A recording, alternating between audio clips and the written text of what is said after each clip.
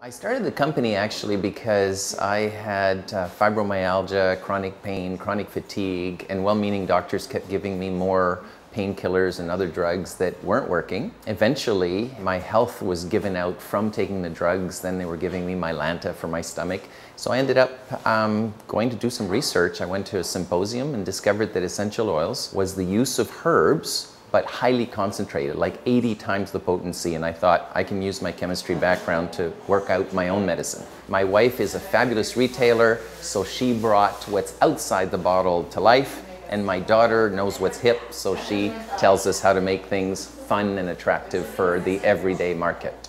So seeking out natural remedies is an exploding trend. People are now finding out that you don't want to move a symptom around by taking a drug and getting other symptoms. You really want to get to the cause. You want to become your, you know, your own practitioner for your wellness. And so because we are educating so many people, we're discovering that they're loving it and um, they're responding at an ever increasing pace. Wellness through nature as medicine. We are foremost an education company not a product company. And when people get empowered and know how to take care of themselves, well, often we have the product that's going to make that easy for them. The books, the seminars, the workshops, it's a major educational piece, but it gives you access to just being able to handle so much more. And at a growth rate of 214%, we need to be ready for something new. A year from now, I need to be way more than I am today. And I recommend personal growth as a system for